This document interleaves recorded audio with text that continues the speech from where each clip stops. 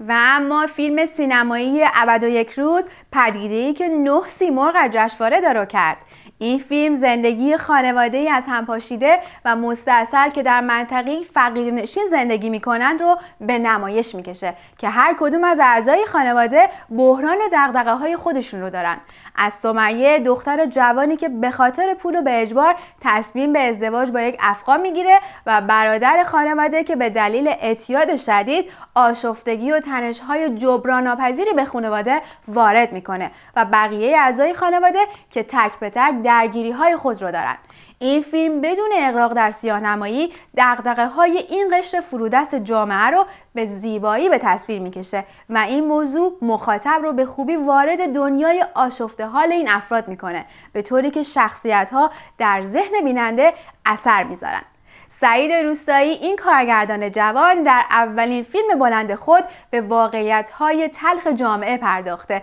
و با بازی یک دست و خیره کننده که از بازیگرانی چون پیمان معادی، نوید محمدزاده، پریناز ایزدیار، ریما رامینفر، شبنم مقدمی و شیرین یزدان بخش گرفته مخاطبینی رو که حتی فرسنگ ها با این سبک و سیاق و فرهنگ زندگی شخصیت های این قصه فاصله داشتن رو به تماشای این فیلم محکوم کرده. با هم بریم و ببینیم که تماشای صحنه از این فیلم ما رو نیز به دیدن این اثر مجاب می‌کنه. با ما باشید